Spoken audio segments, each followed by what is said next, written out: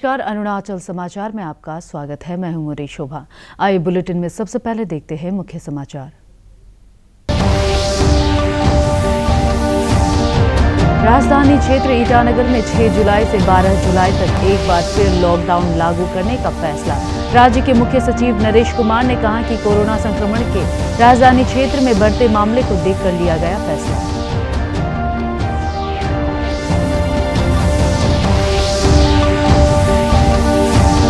राष्ट्रपति रामनाथ कोविंद ने धम्म चक्र दिवस समारोह का किया उद्घाटन। कहा, भगवान बुद्ध के प्रथम उपदेशों का है विशेष महत्व। प्रधानमंत्री नरेंद्र मोदी ने कहा, भगवान बुद्ध ने विश्व को दिया शांति, अहिंसा और सबका सम्मान करने का संदेश। भारतीय सेना राज्य के कामेंग सेक्टर में तीन पोर्टर कंपनी के गठन के लिए कर रही है युवाओं की भर्ती। मुख्यमंत्री पेमा खांडू ने महार रेजिमेंट के पोर्टर स्थापना दिवस समारोह में लिया भाग। युवाओं से कहा, यह केवल रोज़गार का अवसर नहीं, बल्कि देश सेवा का भी स्वर्णिम मौका राज्य के मुख्य सचिव नरेश कुमार ने आज राज्य सचिवालय में संवाददाताओं को संबोधित करते हुए पिछले कुछ दिनों में राजधानी क्षेत्र ईटानगर में कोरोना संक्रमण के बढ़ते मामलों के मद्देनजर 6 जुलाई से 12 जुलाई तक पूरे क्षेत्र में लॉकडाउन लागू करने की घोषणा की। श्री कुमार ने कहा कि स्वास्थ्य विभाग और जिला प्रशासन से विचार विमर्श के बाद कल राजधानी ईटानगर में आगामी सोमवार को सुबह पाँच बजे से रविवार को शाम पाँच बजे तक लागू किए जाने वाले लॉकडाउन के दिशा निर्देशों के बारे में जानकारी दी जाएगी। उन्होंने बताया कि राज्य स्वास्थ्य विभाग के सुझाव के आधार पर कोविड 19 को फैलने से रोकने के लिए कंटेनमेंट जोन का निर्धारण किया जाएगा। के आसपास था।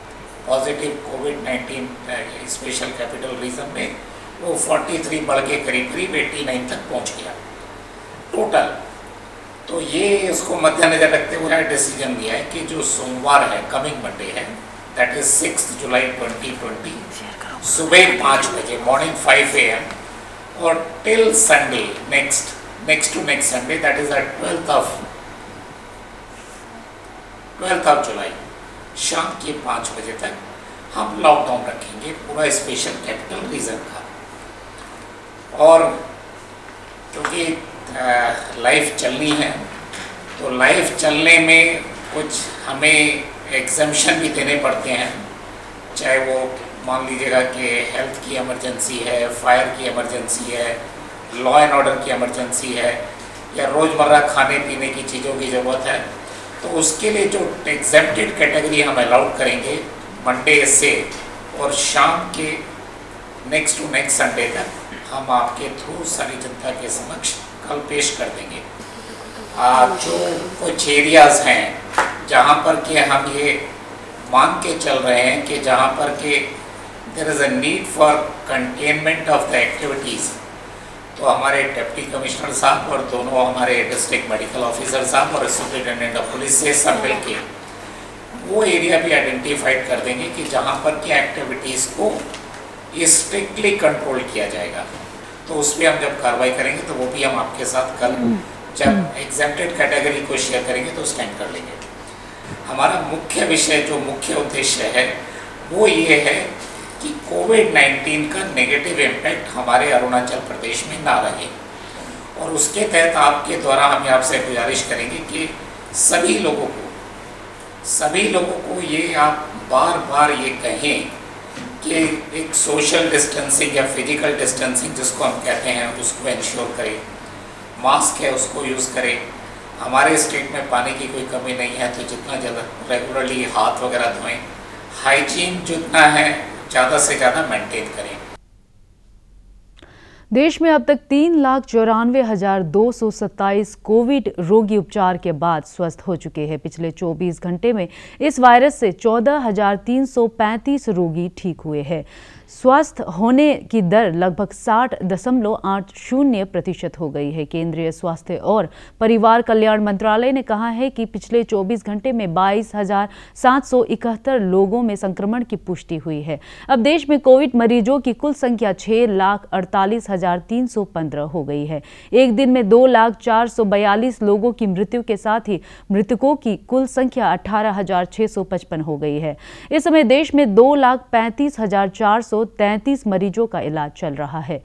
अरुणाचल प्रदेश में कल 20 और लोगों में कोविड 19 की पुष्टि हुई। इसके साथ ही राज्य में कोविड से संक्रमित लोगों की संख्या दो हो गई है। इस समय कोविड के 175 मरीजों का इलाज चल रहा है, जबकि 75 मरीज़ स्वस्थ हो चुके हैं और एक मरीज़ की अब तक मृत्यु हुई है।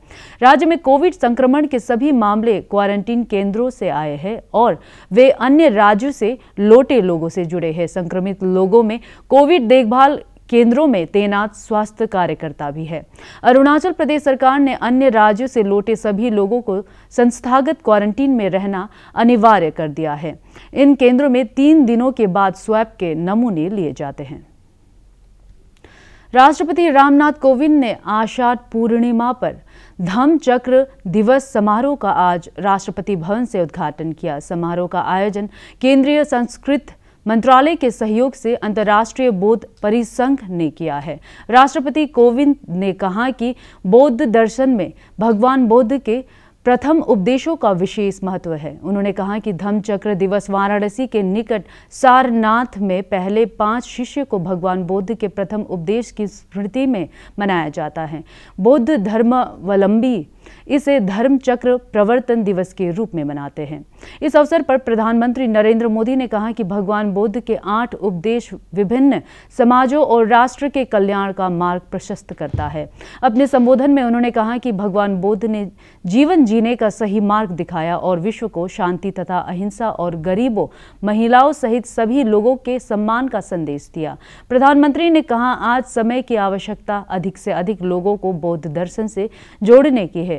इस कार्यक्रम को केंद्रीय खेल मंत्री किरण रिजिजू ने भी संबोधित किया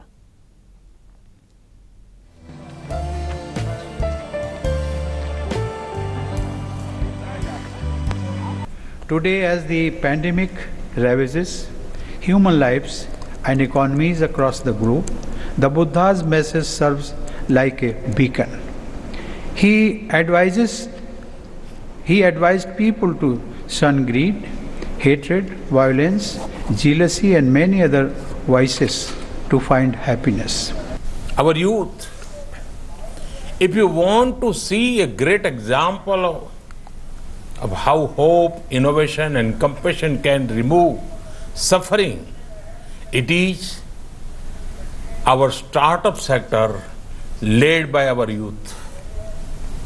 Bright young minds are finding solutions to global problems.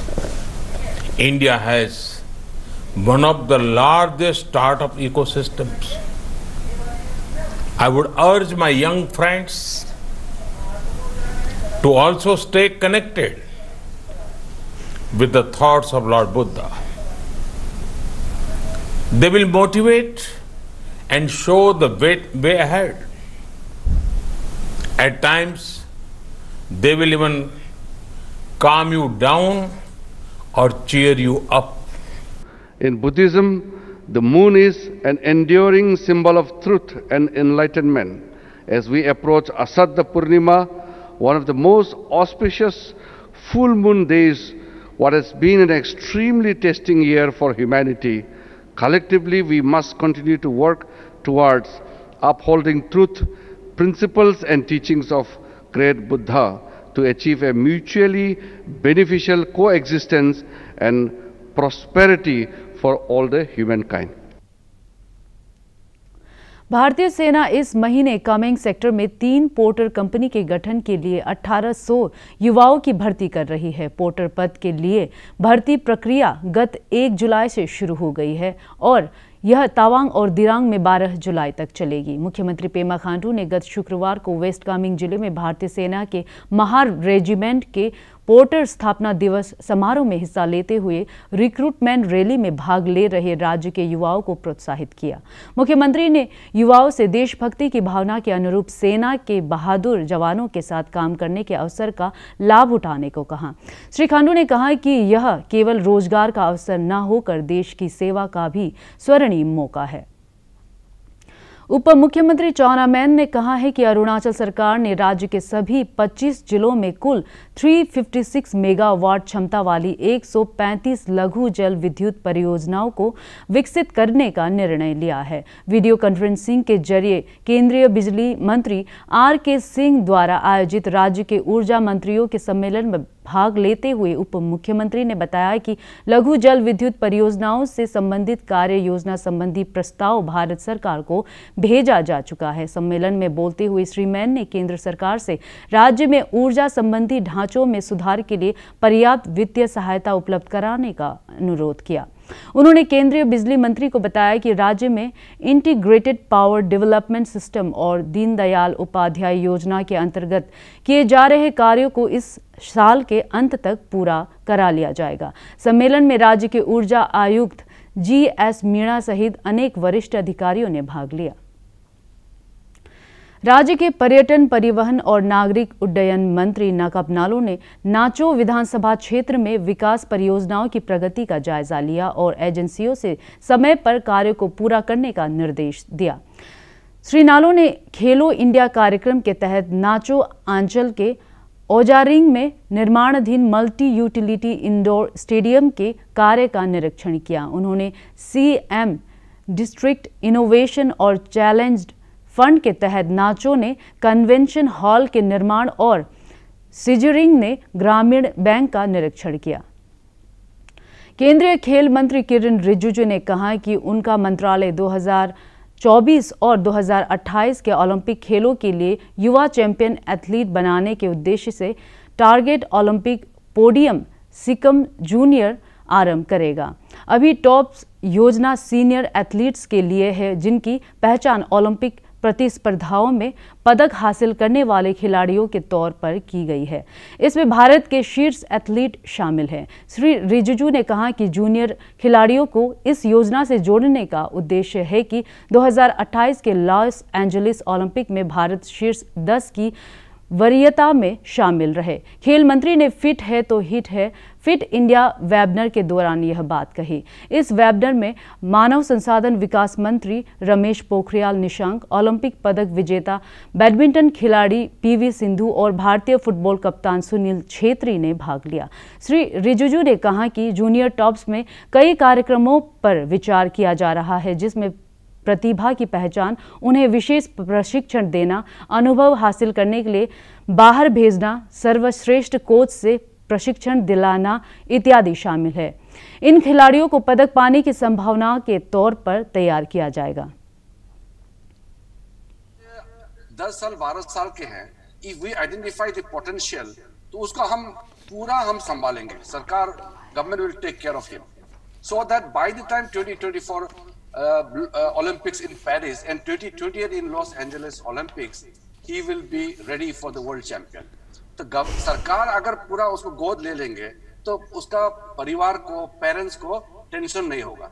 तो मैं शॉर्ट में बता रहा हूँ ये एक ड्रीम इसलिए कि ओलंपिक्स में या वर्ल्ड चैंपियनशिप में हम इंडिया जो है टॉप टेन में क्यों नहीं हो सकते हैं? We have all the potentials we have all the kind of you know the the support we have amongst the aspiration of the people सब एकजुट होकर के सोचेंगे क्यों नहीं होगा इसलिए prime minister has visualise and created this Olympic task force recommendations have come i have uh, seen the recommendations we are in the process of implementation and i'm very confident today Tagin cultural society, all upper Subansiri जिला छात्र संघ, all Tagin युवा संगठन और all Tagin छात्र संघ ने Daporijo degree college से तीन लेक्चरर का ट्रांसफ़र किए जाने और उनका रिलीवर न दिए जाने पर नाराज़गी व्यक्त की है। इन संगठनों ने दापोरिजो डिग्री कॉलेज के प्रिंसिपल को सौंपे एक ज्ञापन में कहा है कि पहले से ही शिक्षकों की कमी की समस्या से जूझ रहे इस महाविद्यालय में शिक्षक कार्य पर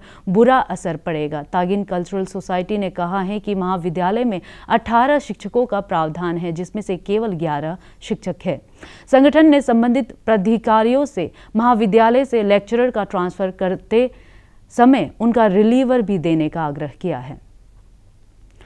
पासीघाट वेंडर्स एसोसिएशन ने ईस्ट सियांग जिला उपायुक्त से कोरोना महामारी के चलते पिछले कई महीनों से पासीघाट नगरीय क्षेत्र में सब्ज़ी और अन्य आवश्यक वस्तुओं की बिक्री के लिए फुटपाथ पर दुकान लगाने पर लगी रोक को हटाने का आग्रह किया है। संगठन ने आज पासीघाट में अपनी मांग को लेकर एक जुलूस निकाला। एसोसिएशन की सचिव मिति पांगिन ने जिला प्रशासन से वेंडर्स की आजीविका को ध्यान में रखते हुए तत्काल कदम उठाने का आग्रह किया है। अरुणाचल समाचार के आज के अंक में इतना ही। हम कल फिर हाजिर होंगे अरुणाचल और देश दुनिया की खबरों के साथ। आप देखते रहिए अरुण प्रभा। नमस्कार।